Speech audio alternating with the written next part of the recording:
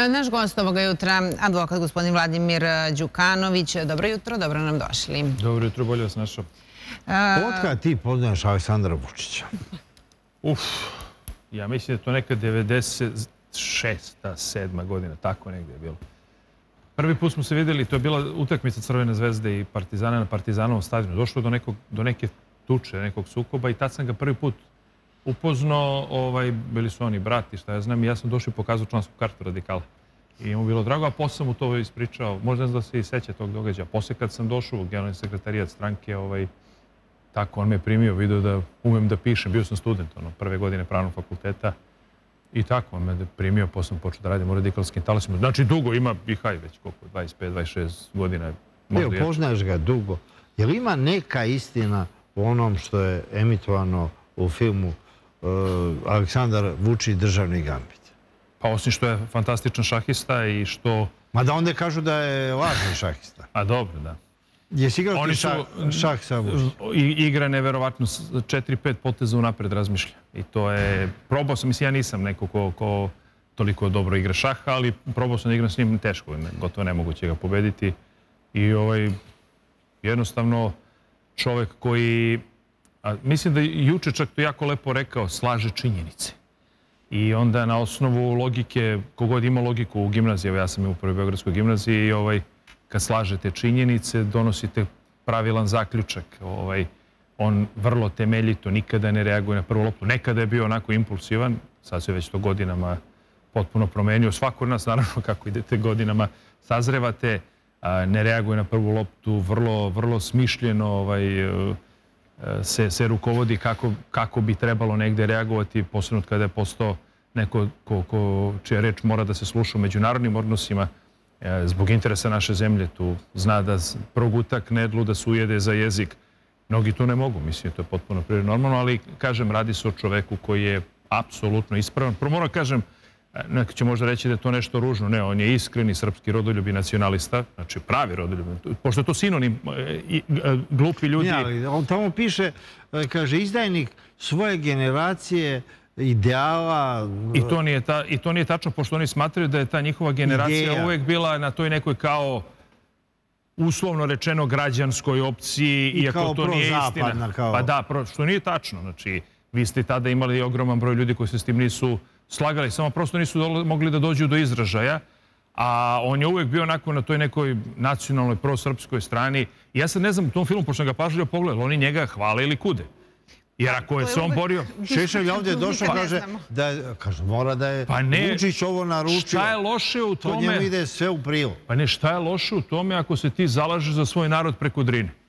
I ako ti hrabriš taj narod u krajini, e, i šta, trebalo da kažemo, ne, ne, slobodno, dragi Srbi, idite pod ustaški nož, mislim, ne razumem. Isterujte ih, neka budu da, da. uje i na Kosovu. Pa to je, to je, e, e, vidite, to je taj problem sa tim ljudima koji na takav način razmišljaju. Prvo Čekaj, što gore, to bolje. Pa, prvo sagovornici u tom filmu, to su ljudi koji... Oni ne poznaju Aleksandra Vučića, nisu da, ni da, sad, da sad ne govorim samo personalno Aleksandra Vučića, ljudi prvo patološki mrze Srbiju patološki, njima smeta jaka Srbija. Oni smatraju da je to da je to uh, taj neki, kako oni bi rekli, veliko-srpski nacionalizam, nešto što je strahovito loše, jezivo, uh, ovaj, uništava ovaj prostor i tako dalje, ali im jednako ne smeta veliko-hrvatski nacionalizam ili veliko-albanski. To kažu, to je u redu, sasvim super. Eno čak ona je rekla da ona jedna, mislim da je voditeljka, šta li je bila, ona je govorila o tom da smo mi okupirali Kosovo i Metohiju. I mrtva ladna to tako izlaže. Sad pazite, kritikuju Vučića, što je Vučić, ne znam, negde u Glini, gde je bio onaj miting, hrabrio narod Ukrajini. Pa, da pa, se brani. Pa Bogu hvala da je hrabrio. Pa mislim, valjda, valjda je to nešto što je normalno. Neverovatno ti ljudi nikada nisu zamerili bilo kakvo izjavi Franje Tuđmana, recimo, ne znam, ili Ali Izetbegovića. Ili, ili sad Kurtija. Ne, pa, ne, sad hvale Kurtija. Kurtija za njih intelektualac. To je vrlo zanimljivo. Uravno teženi. Ali smeta Aleksandar Vučić koji je tada bio generalni sekretar, tek je počinio, odnosno još uvijek nije, nije bio. Kasnije je postao generalni sekretar stranke koja je bila u opoziciji. To im smeta. Prilike Vučić u tom filmu ispo kriv za raspad Jugoslavije. Da ne govorim, pazite, puštate kadrove ratova i kadar rušenja Mostarskog mosta. Sa meni nije jasno da li su oni normalni. Pa kakve veze ima Vučić sa rušenjem Ostarskog mosta? Njega je Praljak srušio kao hrvatski general, mislim. I ubio se kad je osuđen. Pa totalno šizofren. Vučić kriv za Vukovar, iako tad se još nije ni bavio aktivno politikom. A uzgre budi rečeno, evo mene ako pitate, kad govorimo o toj bici za Vukovar, šta bi trebalo da kažem da su Srbi, ne znam, zločinci u Vukovaru, a Srbi se branili i u tom momentu jedina legitimna vojna formacija je bila Jugoslovenska narodna armija. I postoji Jugoslavija u tom Tako, pa u tom momentu postoji Jugoslavija, naravno da JNA ustaje protiv u tom momentu terorističkih hrvatskih snaga, odnosno Zengi njihovih i tako dalje. I što je to loše? hoće da deblokira kasarnu JNA koja je Tako je. I, i, I kad neko kaže da je to bilo oslobađanje Vukovara, pa jeste, bilo je od tadašnjih nelegalnih formacija hrvatskih Zengi i ne znam čega. To, i, ne znam zašto je to zabranjeno reći, ali on je krive Aleksandra Vučića za Vukovarsku bitku, iako se čovjek još nije bavio politikom. I vidite, su to potpuno šizofreni i nenormalni ljudi. I cela kampanja se svodi na budalaštine, na, na, na 90. Njima je mozak u 90. godinama. Oni su odmakli u 90. godina. I oni, ja sam mislio, bit će nešto inventivnije, majke Ali valjda ne mogu ništa. A bilo su već dve emisije junaci. Biće i drugi deo. A biće i drugi deo. Da, da, da. Pet delova će biti. A pet? Pa, pa bravo, svaka čast. A Vučić je već bio tema junaci dobar zla. Dobio je dve epizode, mi svi po jednu, ali sasvim je bio pet. Pa ima jedna narodna poslovica, kaže, zaludan pop i Jari će krsti. Tako. Možete da vi prikažete ljudi neki plan, program, kažete Vučiću i, i naprednjaci ovo vam ne valja, mi ćemo to ovako da uradimo, to je alternativa. Jok, brate mili, vi pravite dokumentarne filmove, izmišljate gluposti, ne, ne Evo, baratate nikakvim činjenicama. za planove Vase Čubrilovića i Ive Andrića a, o isterivanju Albanaca sa Kosova. Pa vjerovatno će uskoro da ga optuže za sarajevski atentat. Pa mislim, tu 100% to tako, tako će da, da otprilike ide. Ne znam što da vam kažem. A, e, juče su mu napali brata. Prethodno oca i majku. I to na jedan najprimitivni način. To je već nešto što je strašno, u porodicu se ne dira. Čekaj, ali ti znaš porodicu? Da, to su divni, čestiti ljudi, čitava porodica Vučić, divni ljudi, posebno otac Anđelko, jedan zaista fantastičan i divan čovjek za brata njegovog Andreja. Sa njima krivo što, ne znam, pomaže nama u kampanji, pa on uvijek nama pomaže u kampanji. Ja se ponosim što nekada mogu njemu da pomognem, recimo, ne, ne mogu organizaciju, on je majstor toga, ali recimo da kad se negde održi neka tribina, kad me pozove. Da... Dobro, mi smo gledali, on je pomagao i za vreme korone i odnosio i donosio. Mislim, to, to uopšte nema veze ja, sa ja, izborima. Ja Andreja Vučića zaista najiskrenije volim kao čoveka. Tolike godine ga poznajem. Jedan divan čovek. Prvo, obrazovaniji od svih njih. A kako ga predstavljaju u javnosti? Pa pri, prikazuju ga namerno. Cela pojenta je prikazati celu njegovu porodicu, sina, brata, da, da su, su to kriminalci, da su mhm. zlikovci i banditi. Zašto? Zato što onda, ako ovaj, e, napadaš Aleksandra Vučića, možda ga napadaš da je on kriminalac. I onda ti je dozvoljeno da ga ubiješ i atentat da izvršiš i sve to. Znači, jer proti kriminalca se boriš na sve moguće načine. I to je poenta da se kriminalizuje čitava njegova porodica i familija, da bi lakše onda njega tako napadali, a to nema nikakve veze sa, sa mozgom, mislim. Sada vam kažem, e, ja sam ponosan, veoma ponosan što poznajem Andreja Vučića i što mogu kad god me ovako i pozove da pomognem i uvek ću to raditi. I, čitava Srpska napredna stranka može da se ponosi što ima takvog čoveka koji ima zaista fantastičnu organizaciju da napravi. Ali on nikad nije odgovorio. Optužen je da je kriminalac, da je e, siva eminencija, da on vodi mutne poslove. Nikad nije se On se ne pojavljuje u medijima. Ne, ne pojavljuje se nigde, nikada im nije odgovorio. Verovatno svašta i trpi čovjek i guta. Ja vam sad kažem, vi da pitate bilo kog našeg člana, aktivistu, ljude na terenu, šta će vam reći o Andreju Vučiću? Ti ljudi će s ponosom da pričaju. S ponosom, zato što ga poznaju, znaju kakva je dobričina, znaju kakav je čovek, koliko je pošten čovek i koliko voli stranku. I koliko srcem i dušom radi to što radi. A može možda negdje da uživa, brat je predsjednika države, može da kaže baš mi briga idem da uživam negdje, iskoristit ću benefite dok mi je brat na vlasti, ne. Pa on je u Narodnoj banci zaposlen čovjek. E, znate šta je najvažnije? On kao brat predsjednika države, njega, on se ne libi da dođe u mesnu zajednicu u nekoj potpuno a, onako opštini koju niko i ne pogleda. On tamo ide, pomaže tim ljudima, razgovara sa njima, ljudi mogu da ga vide, mogu da pričaju sa njim. Dobro, susreće li tamo opozicionare pa da ga tamo... E, vidite, to je ta razlika između nas i njih. Mi recimo sad u ovoj kampanji, a i ranije, mislim, stalno to radimo, mi obiđemo svako selo u ovoj državi. Svaki zasok, svi naši Evo, ti si sad na turneji po Srbiji, jesi video neke predstavnike ovo, jesi negde sreo? Ne, ne, evo njih... Juče za vikend njih nije bilo ni na pijacama. Ma ne, njih to ne interesuje zašto. Oni žive u tom nekom svom imaginarnom svetu na Twitteru ili kako se to već zove. Sada X, Ilona Maska. Ovaj, oni žive u tom nekom začaranom krugu dvojke na, na relaciji Knez Mihajlova Slavija i to je, to je njihov svet. Vi njih sada da pitate, evo, većinu njih, evo, pokažite recimo na karti gde je, gde je babušnica, gde je crna trava, gde, gde je lapovo, evo. Evo, secite me ovde ako znaju. Nemaju pojma jer ih to ne zanima. Vidi, čak su i ovu kampanju sve sveli na grad Beograd. I oni su besni na srpski narod. Ma ne, ne, zato što su neshvaćeni u narodu, zato što oni na neki način ne podnose sobstveni narod, jer taj narod glasa protiv njih. I oni sad čitavu kampanju baziraju na gradu u Beogradu, tu pokušavaju da se domognu, ali i to im je vrlo zanimljivo. Ja stalno navodim taj primjer. Oni su isključivo tražili beogradske izbore, namjerno naglašam beogradske, za Skupštinu grada, koji su održani prošle godine, tako. Nije ih briga da su recimo zahtevali i tražili izbore za svih 17 opština u Beogradu. Jer onda, znate, morate da obiđete i sela u Surčinu, i sela u Lazarevcu. I ta... Njih to ne zanima. Oni neće da prljaju svoje salonske cipelice i da izađu iz tog kruga dvojke steljušture, nego su za grad Beograd, za Skupštinu. Zašto? Pa to je puna kasa. I tu mogu da se onako ovaj, da, da oližu med, jer im je to fino i dobrodošlo. Ja vam sad kažem, mi ćemo ih ubedljivo pobediti u Beogradu. Ubedljivo.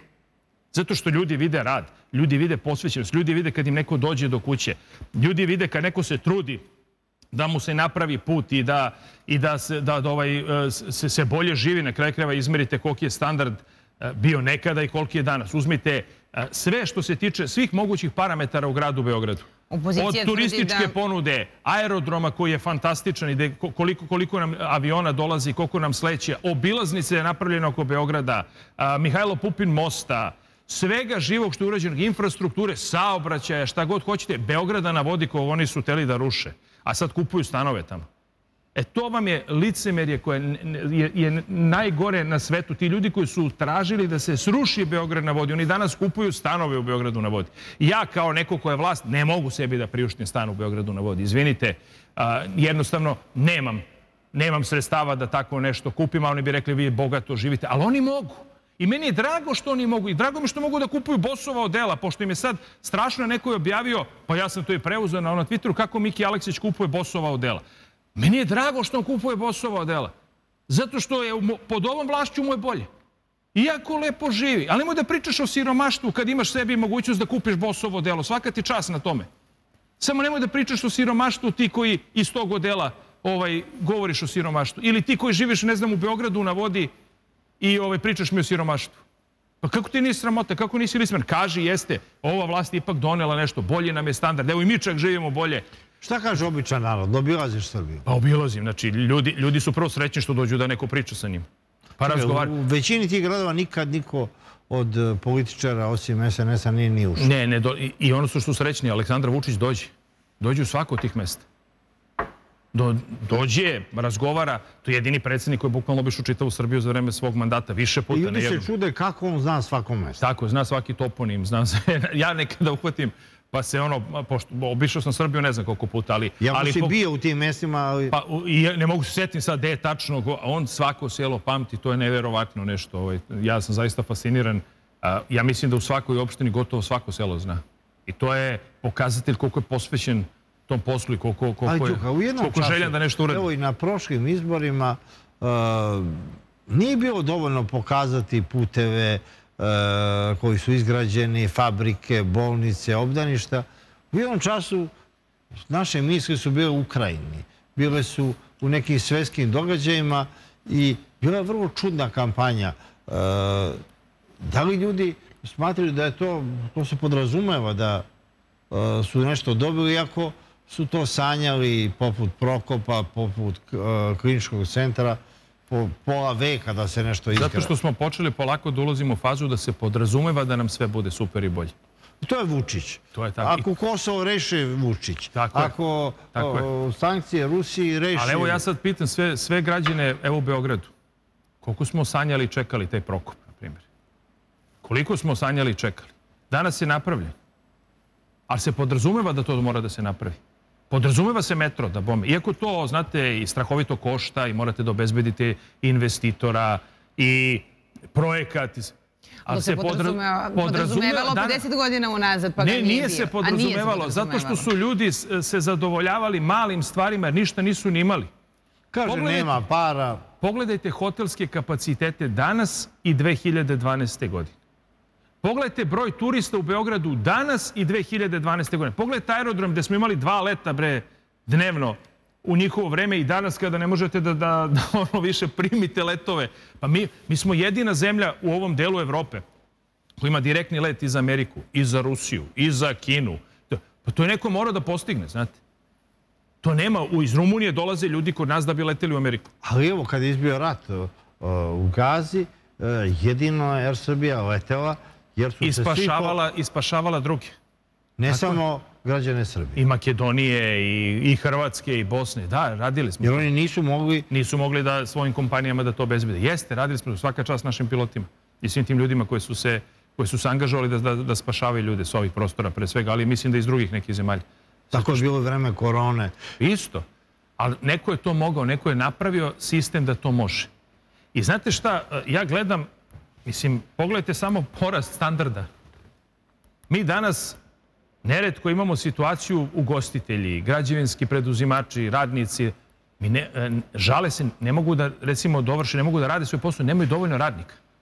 Mi smo došli u fazu da su Srbi počeli polako da budu razmaženi, pa neće da rade neki posao za 700-800 evra. To su činjenice. I šta će privatnik? Mora da dovede radnika iz inostranstva. Ja sam pre, nedavno bio kod jednog dobrog prijatelja, on ima autoprevozničku firmu. On je bio u Šri Lanci pre neki dan da traži vozača. Išao u Šri Lanku. Pa šta će čovjek? Zato što ne može da nađe ovde vozača, niko neće za 700-800 evra da radi, mora da ide tamo da... da ja, za razliku mnogih, e, se vozim gradskim saobraćajem, e, dobio sam doživotnu kartu za kartu, bravo, korišćenje GSP, ali nije to nikakva privilegija, iako mi je Šapić dao svako ko ima moje godine može da uzme tu doživotnu. Lepo je gradskom prevozu, pričate sa narodom. I ja idem ja sa narodom i pričam. Sad vozač je ili iz Bangladeša ili sa Kube ili ko pa zna... Šta, šta da radite? Mislim, prosto pita, nemate dovoljno radne snage. On pita putnike kuda vozi. Ali to vam je pokazatelj, Mariću, to vam je pokazatelj koliko zemlja ekonomski napreduje. Koliko mi napredujemo? Koliko... Ne, to smo nekad videli u Londonu, u Parizu, u Njujorku. To sad, sad, sad postaje Beograd. Upravo tako. Zato, u Londonu je to poseban problem. Vi kad idete, ako hoćete, i Piccadilly i ne znam, Oxford Streetom i kako god, vi u radnjama ne možete da nađete iznad belog čoveka. Sve su ili Pakistanci, ili Indici, ili iz, arapskog sveta. Čak ne možeš kod Engleza lekara, jer neće, neće da studiraju. Neće da rade, ma ne, neće da rade, kaže, malo im plata. Ne, neće su, da studiraju, boće rentijeri. E vidite, e, vidite, privatnik gleda da obavi svoj posao. I to je najbolji pokazatelj koliko mi galopiramo ekonomski. Samo se setite, zato što nijedna privreda, odnosno nijedna zemlja ne može da se razvija ako nema novostvorenu vrednost. Koju fabriku su oni nama doveli za vreme njihove vlasti? Evo recite mi jednu jedinu fabriku. Šta smo mi to proizvodili dok su oni bili vlasti? Evo, Đuka, obišao si... Ne, Manić, ovo je vrlo važno. Pitan građane. Šta su oni proizvodili dok su bili vlasti? Ništa. Osim što je ovaj na sekundama, zarad, govorimo o Đilasu, zarađivao na sekundama Evo, obišao si po ko zna koji put sve u Srbiji. I sad, tamo gde ti ideš, to su nekad bile doline gladi. Ljudi nisu imali gde da se zaposle, osim u opštini. A tu je ograničen... E, e vidite, to mi je najdraže da smo to promenili. Zato što danas mladi ljudi kada završe. Ne mora u opštinu. Ne, ne, neće da juri u javno preduzeće ili u opštinu ili bilo koje državno preduzeće da traži posao, nego ide sam nešto privatno da pokrene ili traži kod privatnika da se zaposli. Zašto kod privatnika je veća plata? Kod privatnika je danas veća plata. Privatni sektor danas je apsolutno skočio. I to je ono što smo mi uspeli da pokrenemo. Reći ti, e, bio sam prekjuče u Timočkoj krajini. Išao sam Kladovo, Negotin, Zaječar, Bor, sve to. Ja, meni je majka iz Negotina. Ja znam kako je to pasivan kraj bio, zato što niko živ ništa nije ulagao. Vi danas, put od Donjeg Milanovca do Kladova je kao pista. Od Kladova do Negotina fantastičan. Ali ono što su sanjali ljudi u Timočkoj krajini, put Negotin-Zaječar, 80 km, je kao pista. Fantastičan, napravljeno sve novo. Put od Donjeg Milanovca ka Negotinu, evo upravo uskoro bi trebalo da se, da se, da se završi, ovaj, do kraja, bit će presvučen i napravljen nova, stavljen nova asfalt, sve. Znači, bit će fenomenalan. Znači, Timočka krajina je danas potpuno povezana novi putevi i još kad bude došla ova magistrala od Beograda do Golubca, pa ljudi moji, istočnu Srbiju celu povezujemo sa, sa, sa, sa Beogradom, sa centralnom Srbijom. Ima li šta lepše, ima li šta bolje. Ono što sam prvi put, nisam mogao da verujem, u Kladovu su mi rekli, na primjer, cena kvadrata ide od 1500 do 1800 evra. Cena kvadrata stana u Kladovu. Zato što ima i šta god sazidate, ljudi kupe. Na Dunavu, turistička ponuda sve veća. Rumunija je tu preko puta, granični je prelaz. Grad živno, bre, ljudi, prosječna plata u Kladovu 75.000 dinara. U Boru, vi nemate ispod 100.000 dinara gotovo platu nigde. Zato što je Ziđin došao, nema nezaposlenih. A predlagali su da se gaji kikiriki. Da, da, Tako je, verovatno, verovatno je njima bilo draže da mi ugasimo sve rudnike, da uništimo proizvodnju. I vode se demonstracije i protiv Rio Tinta, i protiv Kineza koji su u Smederevu. I sad ih pitate zašto to? Zašto neko hoće da to otera te ljude kad su doneli privredni rast, kad su doneli evo, zaposlenje, kad su doneli... Evo, naslovne strane. Evo, evo. to su Ali... Evo, kaže, u e, Mejti radnici ginu, vazduh smrdi, država daje milion. Ti si napravila reportažu. Evo ja samo, samo ih pitam, dobro ljudi, evo hoćete da oterate Kineza, šta ćete da radite? A, u vaše vreme to nije radilo, zaraslo je korov. Da. Setite se, Mariću, to uopšte nije, to, to, to je strašno, to je katastrofa. U njihovo vreme radnici su se vezivali lancima za mostove i za radničke fabrike. Pa sjećaš kad su se, sekli sami se, sebe prst? Iseko prst čovek i ručo ga pred kamerama iz protesta zato što a, mu je fabrika zakatančena. On je zakovo, i to je jedan bošnjak u Novom pazaru, a Srbin je zakovo svoju šaku u Letvicu iz protesta, ekserom. Skakali su ljudi sa terasa, skakali sa mostova. Od muke zato što ništa nisu radili. 27% nam je bila nezaposlenost u njihovo vreme. I vi danas nekom nešto pričate kako bi trebalo da funkcioniše. A šta nudite nam kao alternativu? Dokumentarne filmove o Vučiću. Pa ste vi bre normalni? Pa jeste li vi normalni? Kako će zemlja dalje ekonomski da, da napreduje? To ljudi interesuje. Kako ćemo nova radna mesta da još dodatno otvaramo? Kako ćemo mlade da zadržimo? Ono što mi je najvažnije, to, baš u istočnoj Srbiji, to želim da kažem, u tim opštinama su počeli ljudi, porodice da se vraćaju, pošto oni tradicionalno rade u Austriji, Nemačkoj. Prvi put imate vraćanje čitavih porodica tamo. Zato što mogu ovde jako lepo da žive. I mogu, mogu to kapitala koji donesu odande da, da ovde nešto otvore i da jako lepo prihoduju. Zato što im je neko stvorio privredni ambijent, poslovni ambijent da može ovde da se radi. I ja, ja zaista ne mogu da verujem da to neko želi da uništi. A šta tebe pitaj kad ideš po raznim lokalnim televizijama? Uh, Vučić je ostvario san da ljudi žive ko svoje kuće da rade u nemačkoj fabrici. Ima li nešto bolje? Pa ima li nešto bolje? Da, recimo, če, često je ta zamerka, uh, takozvana zamerka, ja želim samo ljudima da pojasnim zašto je to glupo kad vam to zameraju. To je zamerka zašto dajete, kaže, stranim investitorima subvencije i tako. Čekajte ljudi, ja bih voleo da Srbija je vlasnik Mercedesa. Ili, ne znam, Siemensa, Boscha, Johnson Electric. Ja, ja bih stvarno to voleo, ali mi nismo to nikada napravili. Realno nismo nikada... A nove tehnologije su tu. A nove tehnologije su tu. I sad pazite. Imaju tržište, imaju zašto je, zašto je važno da takva fabrika dođe ovde i da joj date subvenciju za, za, za radna mesta? Ta fabrika kada dođe u Srbiju, recimo Siemens, koja je ili Mile ili šta god, recimo u belotehnici. To je neverovatna reklama za vašu zemlju. To je znak da ste vi pravno i ekonomski apsolutno sigurna država da može da se oplodi kapital. Dobijate obučenu radnu snagu. Što je najvažnije, mi 20 i nešto godina u njihovo vreme nismo imali obučenu radnu snagu jer su sve fabrike bile zakatnačene, izbacili su radnike na ulicu. Ljudi nisu videli šta znači moderna proizvodnja. Pa tek ste morali da obučavate kroz ovo dualno obrazovanje radnike. Ali dobijete obučene radnike koji čak i ako napuste tu fabriku mogu nešto svoje da pokrenu. Ogroman broj kooperanata zapošljavate za tu fabriku. Da ne govorim što proizvod je made in Serbia, što je takođe reklama za vašu zemlju, plaćaju sve poreze i doprinose ovde, sav izvoz koji imaju, plaća se ovde taj porez od tog izvoza. A ja, ja prosto ne mogu da verujem. Znači, vi, je... A da ne govorimo o infrastrukturi oko te fabrike koje mm -hmm. se mhm. dobije. Znači, vi dobijete nove puteve i, i, i, i apsolutnu uređenost. Industrijska zona sve radi, ljudi idu na posao, imaju plate. I sad, vi dobijete zapravo višestruki povrat od onoga što ste uložili. Neko kaže što ne dajete domaćim investitorima. Dajemo. Dajemo ogroman novac i domaćim investitorima, ali za ovake krupne projekte Morate da imate negde... Niti imaju tehnologiju, niti imaju Morate tehnologiju, ali morate da imate negde da, da plasirate vaš proizvod na strano tržište. Upravo to. Ali sad i to se, i, i to se dosta modernizovalo. Mnogo naših e, mnogo naših privrednika sve više i više izvozi, ima odlične proizvode i Srbija tu i tekako pomaže. A pomažemo naravno i ono, onu malu takozvanu privredu, frizerski salon, šta god hoćete. Možete da dobijete kapital od države početni da jako lepo to otvorite, posebno žensko preduzetništvo. To smo i tekako razvijeli. Prema tome, ljudi, moja ova zemlja radi. Ovde je nezaposlenost na ispod evropskog proseka. Svako može da nađe posao. Kao što vidite, čak nemamo ni dovoljno radne snage. Naši privrednici moraju, moraju čak i da uvoze radnu snagu. Kad je Vučić to govorio, oni su rekli, pa to je nemoguće. Pa eto, vidite da je moguće. A to je neko napravio. Promenio je svest ljudi. Ljudi su počeli da shvataju da je to moguće. A ovi ljudi što, što ove filmove snimaju o Vučiću, oni žele da nas vrate unazad.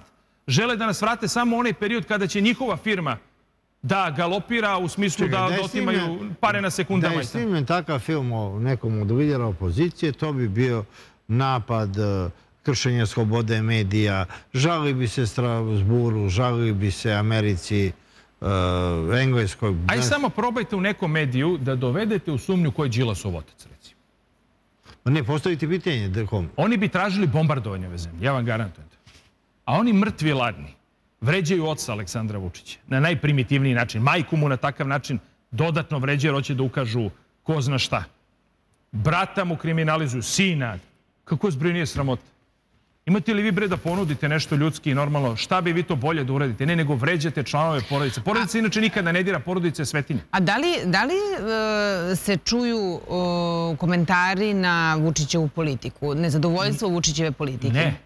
I sad, ono što je meni vrlo zanimljivo, oni stalno govore da je Vučić najgori lider, diktator, zlikovac, bitanga, baraba, ne znam šta. A onda nas napade što mi stavimo njegovo ime u naziv naše liste. A valjda bi vi trebalo da budete ljudi srećni što mi stavimo... Tako kompromitovan čovjek. Jeste tako, zato što ćete vi da pobedite. A onda mi njih pitamo, što vi ne stavite u naziv vaše liste Dragana Đilasa? Što? Što se ne zove Srbija protiv nasilja Dragan Đilas?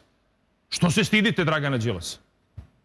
Pa nije, nije mi jasno, pošto je on idealan, fantastičan, najbolji, kako vi kažete, pa evo stavite ga u naziv liste. Nego se sramo, znate šta je sve radio i koliko je kompromitovan, pa ne smete da ga stavite. Mi se ponosimo Aleksandrom Vučićem. I da, uvek ćemo da stavljamo njegovo, njegovo ime, zato što je promenio Srbiju u potpunosti na bolje.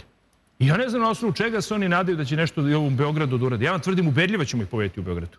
Oni se ne nadaju, oni su sigurni da im sledi pobeda Ma dobro, mi njima prepuštamo ulogu favorita, ali ćemo ih pobediti. Zato što ćemo marljivo da radimo u kampanji i borit ćemo se. Ići ćemo od vrata do vrata, svakog čoveka da posetimo, svakog da pitamo. Sve ono što oni ne rade i, i, i gde se stide da rade, zato što znaju kako će ih ljudi da ih dočekaju na, na vratima. Mi ćemo da radimo. Ići ćemo od vrata do vrata svakog čoveka da pitamo. Onda nama, recimo, često nas napadaju, vi radite, ne znam, sigurne glasove. Svaka ozbiljna politička stranka pre radi kampanju e, sigurnih glasova. Moram da vas pitam, pošto ste i advokata, hajde sa pravne strane nam recite, pošto uh, vrlo često, uh, često upravo ta kampanja od vrata do vrata, kada vi odlazite i u najmanje mesta i u velike gradovi i u sve gradove Srbije, da se konsultujete sa narodom, da čujete njihove potrebe, njihovo zadovoljstvo ili nezadovoljstvo dosadašnjom politikom, uh, to se ocenjuje kao jedna vrsta terora, diktature, uterivanja straha. Ja da je li to ispravno politički ili to nije ispravno politički? Ja ću vam reći, znači prvo ta kampanja od vrata do vrata, takozvani door to door. To nismo mi izmislili nego u Americi, u Engleskoj, svuda se to vodi. A inače je ovde dono NDI, takozvani Nacionalni demokratski institut, gde je Madeleine Albright bila jedan od, od osnivača i pokrovitelja. Oni su tako obučavali tadašnju demokratsku stranku. Oni su radili to prvi. Dobro, to nam objasnite da ne bude zabune znači, samo da, gleda... Kampanja od vrata do vrata je jedna sasvim prirodna i normalna kampanja gde vaši aktivisti idu, pozvone, dobar dan, dobar dan, mi smo ti i ti, želimo popričamo sa vama već kako to ide. Ako vi želite da kažete mi mhm. glasamo za vas, upišite na slobon, mi vas lepo fino upišemo, evidentiramo, znamo da ste naš sigurni glasač i tako ako vi nećete, oterate nas kako mi odemo, hvala puno, doviđenja. Dakle, to je zakonski dopustivo, to nije nikakva presija, nikakva tortura, nikakva... Nikakva ni presija, niti bilo što, to sve ozbiljne političke organizacije u svetu rade. Ne postoji niko ko, pa to jedino ako ste nenormalni, mislimo da ako hoćete da izgubiti izbore. Pa svako ozbiljno to radi. Drugo, na kraju čovek hoće da vas vidi, da ste mu došli na vrat, da vas pita, da vas možda iskritikuje. Ali je normalno da dođe vaš aktivista ili čak i vi kao funkcioner, pa svi mi funkcioneri to radimo. Idemo od vrata do vrata, stojimo na štandu, pričamo s narodom. Ja sam juče bio u mom nasilju, bio sam na banjici sa svojim sa našim aktivistima. Bio sam na štandu i ne da se ne stidim, nego naprotiv ponosim. Meni je drago da me vidi taj taj običan čovek. Ja inače sam i takav, vozim se i gradskim prevozom, kad god imam priliku, sednem u kafanu, sednem u kafić, idem na pijacu, idem u prodavnicu, porazgovaram s ljudima. Mislim, šta je tu nenormalno? Napravljena je napravljena atmosfera za one ljude koji nisu usko u politici, kada kažu vi ne shvatate što oni rade, oni traže, kaže, kapilarne glasove, to su cenjivački glasovi. Nije tačno, kapilarni glasovi su glasovi svakog e, aktiviste, funkcionera ili kako god, gde on prikupi glasove svojih prijatelja, poznanika i tako dalje i tu svoju neku evidenciju donese u stranku. To, to je potpuno normalno da radi. Voz? Pa ne zna šta je to loše. Šta je bugarski voz? E, bugarski voz je već obmana, na, odnosno krađa na izborima i to naravno da, da je nešto što je kažnjivo. To znači da neko uđe, namerno iznese listić napolje i onda da nekome ko ulazi koji će uzeti onaj drugi listić, on zaokruži jedan, onaj drugi iznosi i tako to funkcioniše sve vreme. To je nešto što je kažnjivo i čist kriminal i naravno da to... Čisto da pojasnimo te termine sada da budemo jasni sada šta je... Ne, pa to, zato što to izmišljaju nemoći. A to su oni nekada radili, zato što smo ih na delu hvatali i 2008. i 2012. godine. Na delu smo ih hvatali kada to radi. Onda valjda oni misle da su svi isti kao oni. Nama to ne treba. Nama treba da obiđemo svakog birača i to radimo svakog birača da poklonimo pažnju, pa i onima koji nas ne vole. Ali hvala vam puno, doviđenja, drago mi da smo pričali s vama. Meni ti ljudi u toj drugoj koaliciji, u toj konkurentskoj koaliciji nisu neprijatelji. Oni su naši protivnici. Čekaj, nas ti razgovara s njima, znaš. oni nas doživljavaju kao neprijatelji. Zato što su valjda besni, jer ti tajkunski njihovi interesi, da im njihove televizije, kablovski distributer budu najjači u ovoj zemlji i da budu dominantni, ne uspeva. I to, znači, njihov jedini cilj na ovim izborima nije boljita građana. Njihov jedini cilj je da SBB bude jači od Telekoma i kad bi mogo još da ga preuzme. To je suština cele priče. Da li su legitimni telefonski pozivi uh, stranački koji pozovu i pitaju da li podržavate politiku Aleksandra Vučića ili politiku Dragana Đilasa, koliko oni to rade, pošto nisam sigurna ovaj, koliko je to. To je sve deo kampanje. možete da zalupite slušalicu, a možete da odgovorite da svakako Pa ko, kao, a to rade i agencije za... Pa kao za istraživanje javnog mjenja. Mislim, kad zovu agencije pa pitaju. Jasno, ja samo želim prosto da definišemo sada sav, sve zabune koje postoje. Ma nije nego to iz nemoći, više ne znam šta da vam kažu, pa onda tu svašta izmišljaju. To, to, je, to je poenta priča.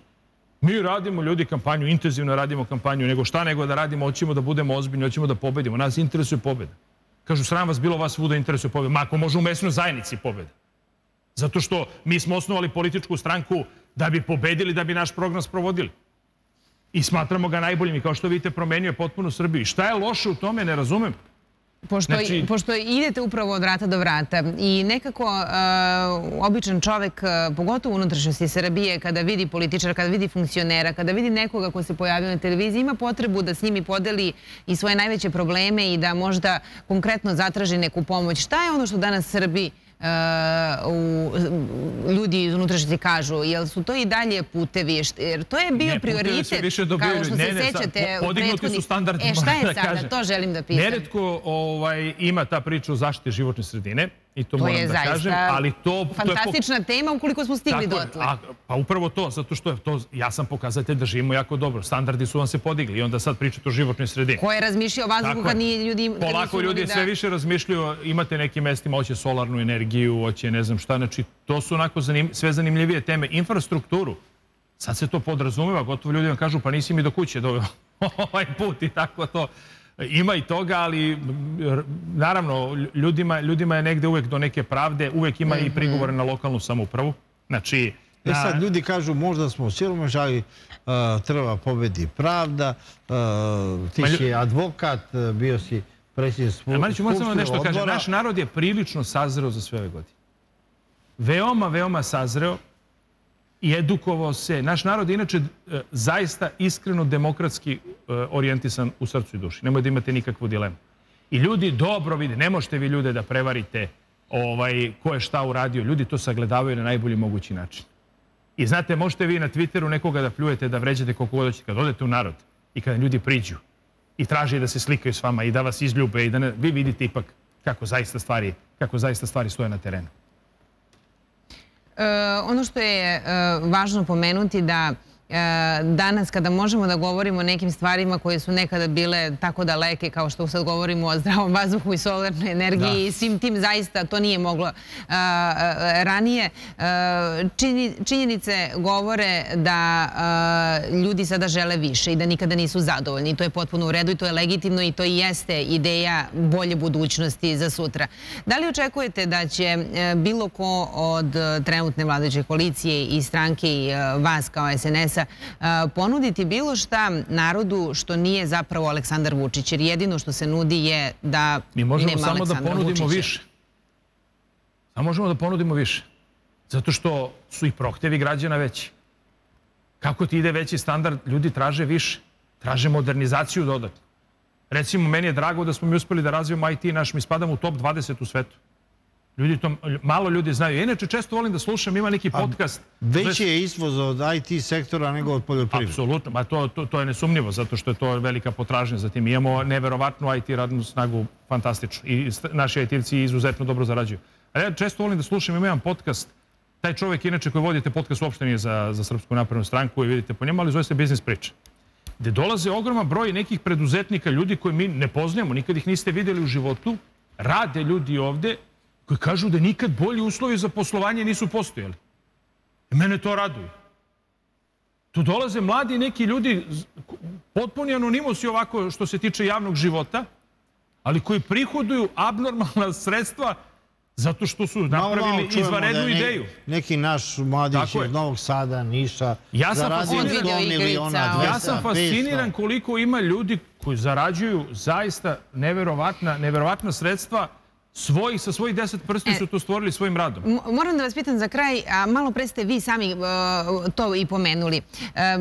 nemalo puta, ne samo tokom ove, ovo je tek početak ove kampanje, nego i prethodnih kampanja, govorilo se da je tehnički lakše stići do bilo kog ministra, do samog Aleksandra Vučića kao predsjednika države, nego do uh, predsjednika neke lokalne samouprave, gradonačelnika određenog grada, da su to male preće koji su napravili kao svoje uh, utočište, gde se vade, da uvek kažu to je rekao rekao Aleksandar Vučić, koga verovatno možda nisu nikada ni upoznali uh, i uh, prave upravo svoje neke uh, raznorazne ćumeze u koje ljudi ne, ne mogu da do, dopru do pa njih. Kako to promeniti i koliko se susrećete upravo sa tim kada dođete? Susrećem se, da. Da, malo pre ste pomenuli, zato sam i žela to da vas pitam. Dođu ljudi i besni su nekada na to, ali to mhm. ćemo mi morati da menjamo. Mislim, znate, stranka koja ima 700.000 članova, nemoguće da nema negde... Neki su i karijeristi. Jel mogu nekome da se jave? Jel mogu, kome, prosto taj narod koji to osjeća i koji vidi da to nema veze, a podržava politiku Aleksandra Vučića, a nameće se nešto sasvim drugo. Kome mogu da se obrate? Kome mogu da se jave? Mnogo puta, pa evo, ja, mi dobijemo poruke, Beograd sigurno kaže ovo ne znam. Ne, a znate, tu često nekad imate tih stranačkih razmirica unutar odbora i šta ja znam i onda morate da čujete jednu i drugu stranu. Nekada ovi malo to preuveličaju, opet ovi drugi nekada vas malo mhm. lažu i tako dalje, svega toga ima, ali mi to proveravamo i svakako da ćemo reagovati. Na kraj kreva idu i lokalni izbori, sad u 64 opštine, čini mi se, do juna meseca ide u ostatku Srbije. Pa molim lepo, ovaj, mislim da ćemo mi tu morati tekako da reagujemo mnogim lokalnim samopravama. I da pitate upravo te građane i taj pa narod, jesu li zadovoljni ili nisu? Neretko dođu ti predsjednici opština, ali ne čak ni oni toliko koliko neki činovnici u samoj opštini, lokalnoj samoupravi, koji su ono, zamisla su faraoni otprilike i sada ovaj, mogu da rade šta hoće, ali reagovat ćemo na to i čujemo mi narod, znamo mi šta ljudi misle ovaj, i morat ćemo tu da, da, da, da poradimo da, da jednostavno do, do takvih stvari ne dolaze. Ne možete čitav život da se vadite, stavite, ne znam, ime vaše liste pa Aleksandar Vučić.